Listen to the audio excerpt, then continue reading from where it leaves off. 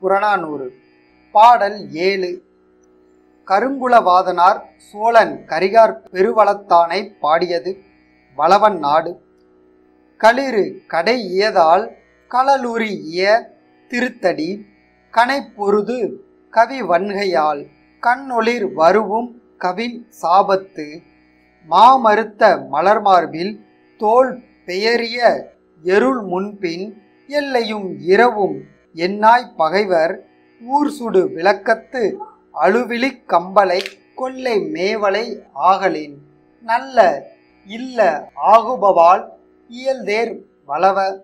தன்புணல் பரந்த பூசல் மண் மறுத்து மீனில் செருக்கும் யானர் பயன் திகழ் வைப்பில் பிறர் அகன்தலை நாடே.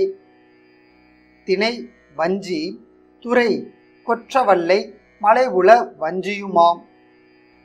பாடலின் விளக்கம் யானையை செலுத்திய கால்களையும் வீர கலல் உராய்ந்த அடிகளையும் அம்போடு கூடிய கையில் கண்கவர் வில்லையும் திருமகள் விரும்பும் மார்பையும் யானையை வெல்லும் சிறந்த வலிமையும் உடையவளே.